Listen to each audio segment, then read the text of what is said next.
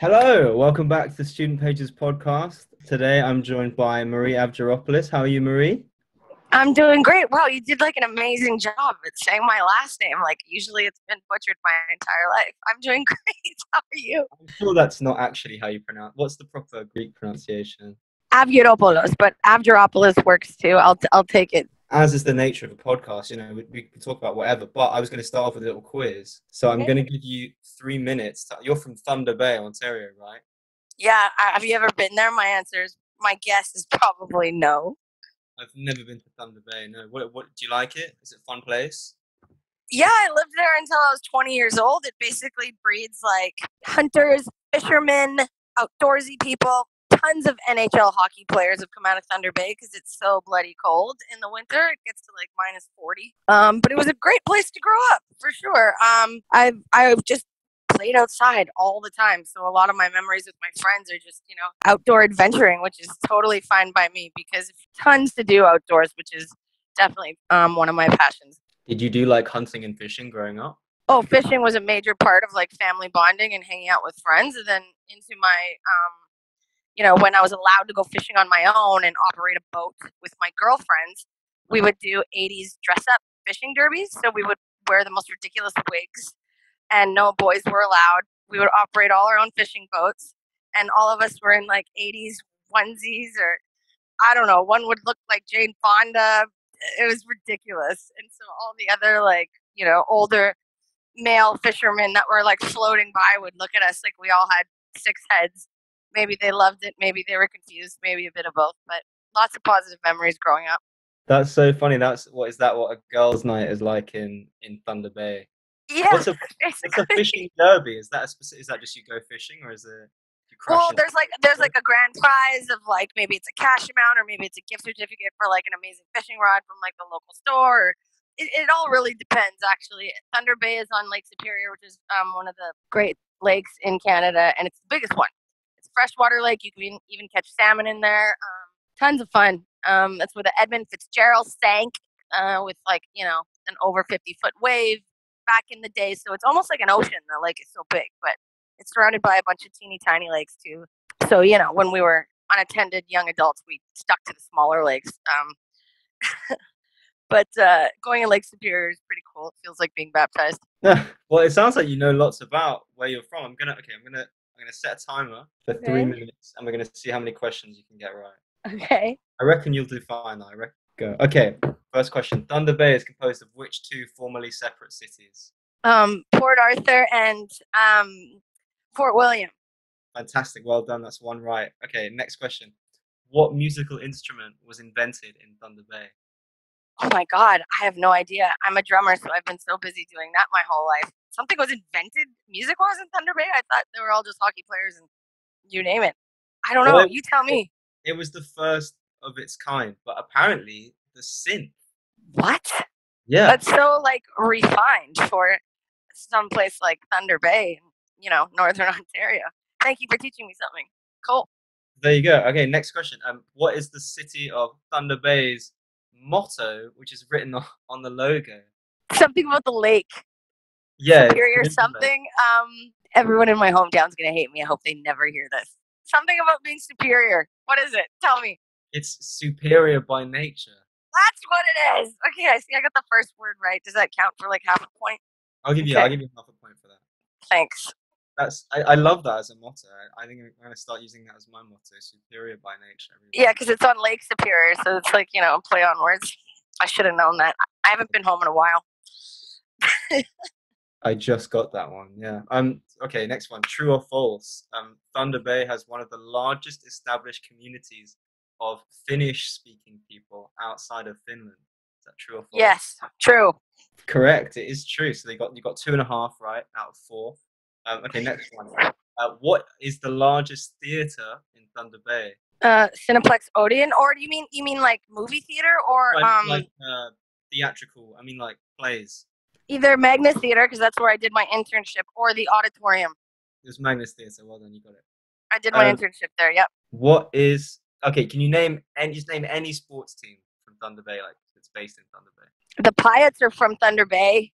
They're professional hockey players. Um, the Thunder Bay Whiskey Jacks. That's like a, a baseball team, a local Oh. one. I'll take your word for it. I didn't even have that one on my list. Okay, Uh, you're going to get through all of them, I reckon, if, I, if, we, carry on through. Um, actually, uh, last question. Last question. A part of Mars is named after Thunder Bay. True or false? Part of Mars, Yeah. like the planet. No, it's yeah the planet. A part of Mars, the planet, is named after Thunder Bay. True or false? I mean, the fact that you came up with that question, I, you know more than me. I'm assuming. So I'm gonna say true, and that's just a wild ass guess. You got true just as the timer went off. Um, I, unfortunately, it's false.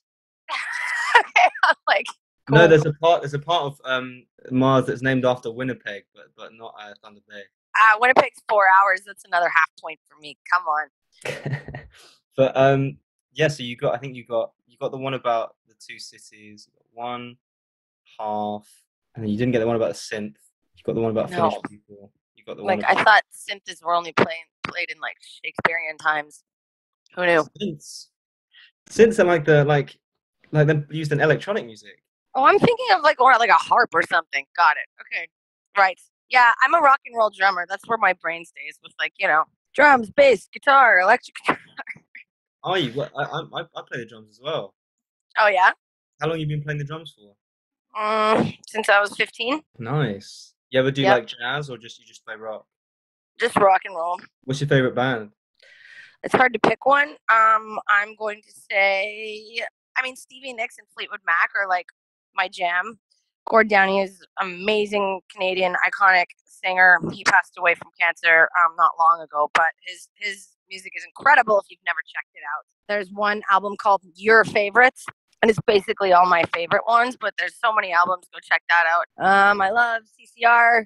Oh my God, the list goes on. The Stones, ACDC, There's been a question I've been asking my friends recently, and people, opinions are divided. Who do you think's better, right? The Beatles or, or David Bowie? That's so funny you mentioned David Bowie because I just watched the movie The Labyrinth the other day. Remember that movie? And David Bowie played played the bad guy. I haven't seen the-. No. What? Okay, so oh my god, it's an old old movie about this girl who has to babysit her little brother, and she's tired of it. And she says, "I wish the Goblin King would just take you away." And David Bowie plays the Goblin King.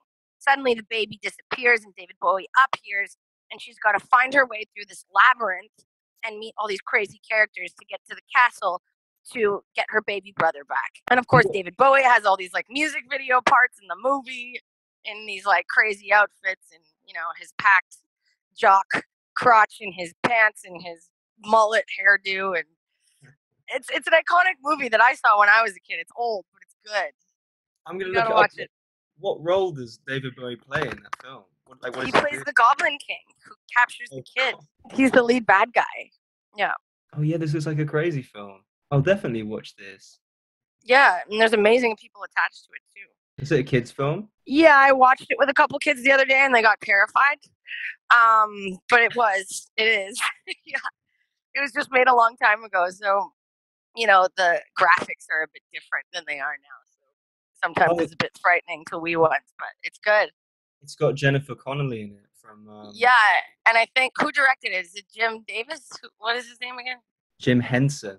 Jim Henson. That's right. Henson. Sorry, my mind is in 10 different places. Um, yes, highly recommend. It's an, like an iconic one. Oh, and Jim Henson did the oh did Sesame Street and the Muppets. Oh, that's crazy. Yes, yes. So there, there's like these crazy characters that are, because of course this is like before the times of CG and all these amazing graphics that we have nowadays. So it's the puppetry is insane of these little characters that pop up inside the labyrinth along her way to either help her or make her very confused and send her in the wrong direction. Um, I love that movie. I forgot that um David Bowie did had some acting roles because he was in Zoolander as well. And a couple Oh of- yeah, that's right. I was yeah, I was going to ask you. Um, you you got into acting quite late because you started were about twenty one. So is that because you were kind of all into outdoorsy stuff before that, and you never really thought about acting, or did you, you were kind of into it as a kid, but you never really thought you could do it professionally, or after I graduated um, high school, I took television broadcast journalism in Thunder Bay, Ontario. And I thought I wanted to do kind of what you're doing now for a living. And um, I did an internship at a, a news um, cast station in Thunder Bay. And I remember I had a really, really positive experience there. It was a rock and roll station, so I was really into that. But um, my role was to um, tell local and regional, national, and worldwide news. And I remember I had a really positive story once about um, something that would really help, you know, young children in hospitals and stuff like that. And I remember asking my boss if I can air it, and I remember my boss telling me no because only bad news is good news and newsworthy. And I'm like, great, so I quit. And she's like, well, so many women fought for your fought for this position, and you got it. I'm like, great, then you won't have any trouble finding a replacement. So that was it for me. Um, I realized I couldn't. I didn't want to spend the rest of my career um, being the um, bearer of bad news.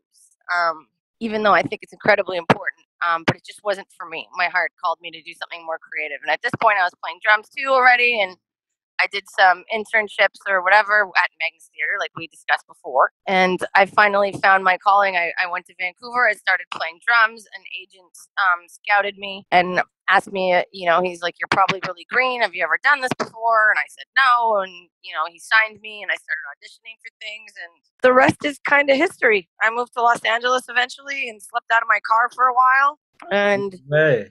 auditioned for the role of uh, Octavia Blake in The Hundred, and they sent me right back to Canada, and there I was playing Octavia Blake um, up until March during the worldwide lockdown, and we filmed a hundred episodes of The Hundred. It was uh, pretty remarkable.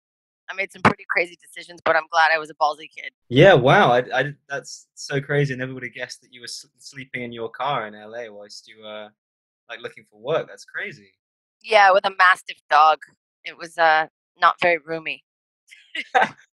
That's crazy. And then, so how, so how do you feel like you've changed between being that kid uh, in sleeping in their car with a mastiff dog and seven years down the line working on on the hundred? Um, how do I think I've changed? Well, I've grown up a lot. I'm 34 now.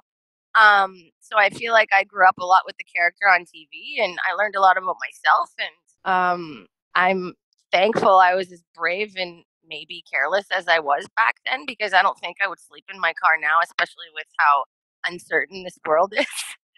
Um, so I'm thankful for the roof over my head and all the blessings that I've received, absolutely, and for my health. And even though I'm bored and feel like a housewife over here, I'm super thankful that I'm healthy and I can FaceTime the people I love. And, you know, I've learned how to garden pretty much freaking everything on the planet this year. Um, but that's all right. Watching tomatoes go from green to red are kind of exciting too, I guess. You've been gardening. Yeah, I made I planted my first vegetable garden this year. Um, some are working, some aren't, but most of them are, I think. Um, I make Greek salads 24 7 and spanakopita, which is my favorite Greek food. So it, I'm excited to be growing all the things for it now and skips me having to go to the grocery store with the stupid mask on. They're important. I totally support the mask. Everyone should wear the mask. But, you know, it's an adjustment. You're like, okay, right. Keys, wallet, phone, mask when you leave the house. Just it's all learning, right? It's so important for everybody else and ourselves. Do you ever make? Uh, do you ever make gyros? I haven't made one from scratch yet. No. Oh, of course, because you've got to make the bread and everything as well. Yeah, yeah. Like, uh, I'm a great cook, baker, not so much. I put bread into the baking category. I wanted to ask you some some hypothetical. I wanted to talk a little bit about the hundred. Okay. Um, so, in the hundred, obviously, you're sent from the Ark, the space station, housing um, those who escaped from the nuclear apocalypse on Earth, to this radioactive Earth that might be uninhabitable. Um, and my question was going to be if you if you could design your own Ark, right, your own space station, what would it be like, and who would be there with you? If you're hiding out. if I could design my own Ark, what would it have? Um, it would definitely have a giant movie theater. It would have a farm because you know let's not all starve to death. That's no fun. Um, it would have a jam space because I'm sure some of the people in the Ark with me would know how to play the other instruments, and we could start a band with a with a dance floor in front of it. So then everybody else that doesn't know how to that isn't musically inclined can just go shred a rug for a minute. Everybody would have linen sheets because they keep you cool at night and uh, uh, they keep you cool at night in the summer and warm in the winter but maybe in space that wouldn't matter. I don't know i've never been to real space before. Only on tv it doesn't really count. And puppies. Everybody loves puppies does that cover it all and a gym Yeah, maybe Sounds amazing. No, all of that all of that stuff sounds great. Yeah. So you'd have, you'd have a uh, like a place where you can jam out, like a dance floor. There'd be puppies presumably floating around. and then and Flying on puppies. seats. Yeah. Be very very comfortable. I love that. Sounds like the ultimate quarantine. Kind of There you go. Yep. Perfect. I don't know how you. I don't know how you do that in space, but that'd be amazing. Well, you said this as was a hypothetical question, so that was my hypothetical answer. Mm. If you were one of the last hundred people on Earth and you didn't Mm. have to worry about surviving or radiation, that's all taken care of, where would you go? Chuck E. Cheese. Just kidding. That's not my real answer. Um, Santorini, Greece, Oh, for really? sure. That's my happy place. Um, it's to me the most beautiful and romantic Greek island um, on the planet, and the sunsets are just insanely breathtaking. And the people are wonderful, and it's just a very zen place to be. Is your is your Greek heritage like very important to you? Is there a kind of a community in Thunder Bay where that you hang out with? Or Yeah, my Greek heritage is totally important to me. When I was a kid, well, not a kid, I guess, I don't know, when I started acting, whatever. To me, I was a kid then, clueless. I remember my agent at the time, not my current agent, wanted me to change my last name because they said casting is having a hard time writing it down because it's 12 letters long. And I thought about it because my dad passed away when I was a kid. And I'm like, what would dad say about this one? Probably not be stoked. And I'm proud of being Greek. So I'm like, no, I'm not changing it to something like Smith or whatever. No judgment to the Smiths out there, but my true last name is, you know, Avgeropoulos, and um, I kept it. And I'm really glad I did. Important to me. I had I had a question. I, I looked on your IMDb and I saw that you were in 50-50, and I remember seeing that film, but I can't. It was so long ago. I can't remember which. I, I can't remember seeing you in that film, but I love that film. I'm at a dinner date with um with the two main characters. It was one of the first jobs I got, really. Um, and Seth was super cool because uh, he ended up taking me home after date night. And um, I remember we had scripts and sides on the day. Um, and he literally ripped them up and had us improv the scenes. And uh, it was just a really Really? fun exercise for me because typically, you know, writers like you to stick to whatever is written. But Seth just wanted to have fun with it, and it was just such a fun experience for me. And and uh, Joseph Gordon-Levitt and Seth Rogen were just two wonderful guys to work with. I have nothing but wonderful things to say. That's amazing. Is that this? Is that this? You were in this scene where um he he sort of decides he's going to use like being ill to pick up some girls at a bar. Is that Yep, that one? Okay, I thought so. That's such a funny. that was forever ago. Yeah.